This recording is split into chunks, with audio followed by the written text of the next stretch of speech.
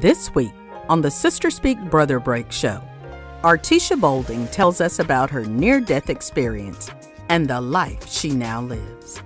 Consciousness, when I literally thought that my spirit was leaving my body for mm-hmm. good, it was uh, it was a little scary, of course, but it was a delight mm. because I, I definitely felt a sense of peace because I was leaving this wayward world behind. Mm-hmm. I didn't have mm-hmm. to worry about trying to punch a clock. I didn't try have to worry about um, prioritizing my time or my money or anything like that.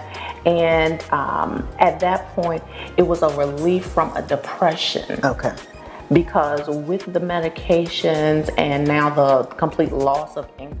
Join us for the episode premiere this Thursday at 9:30 p.m. on Facebook Instagram, or YouTube at Marcey Bush.